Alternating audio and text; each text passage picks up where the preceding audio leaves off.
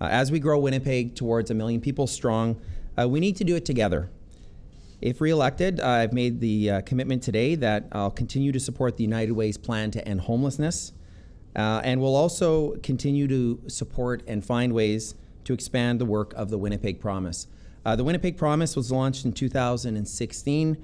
Uh, it is an initiative in which I've brought together uh, leaders from across Winnipeg uh, dedicated to finding ways to remove barriers currently uh, preventing low and modest uh, income families in Winnipeg from accessing uh, the Canada Learning Bond.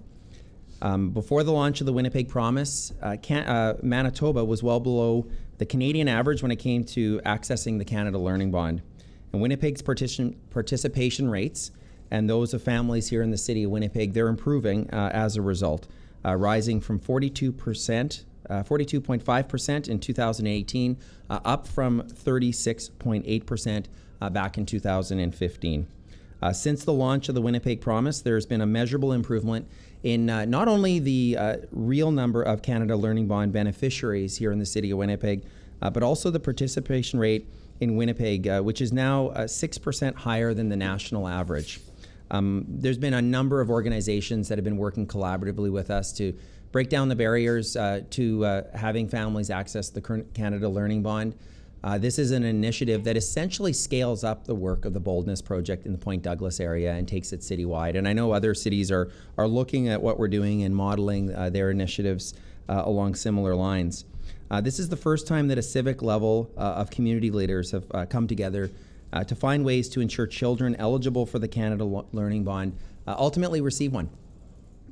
Uh, in addition to continued support for End Homelessness Winnipeg, uh, as well as the Winnipeg Promise, uh, I remain committed to the introduction of a low income bus pass, uh, the creation of a newcomer welcome and inclusion policy, uh, continuing to invest in support for Indigenous youth strategy, Oshki, Anishinaabe, Nigaaniwak. Uh, this is this funds community organizations, provides employment development programs for indig Indigenous youth in our community. Continuing to work with our uh, unsafe panhandling uh, committee and facilitating the creation of a panhandling employment uh, pilot program. This is between the downtown Winnipeg Biz and Siloam Mission. Um, supporting the fee subsidy program that's been in place for some time.